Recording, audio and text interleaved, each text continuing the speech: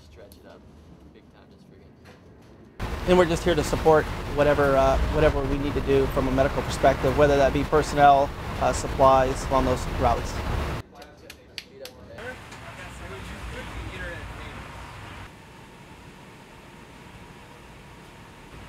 Medical does support the relief efforts in the Philippines, not only because we are the most powerful Navy in the world, but because we are firm believers in soft power and a global force for good. That's everything right there. So,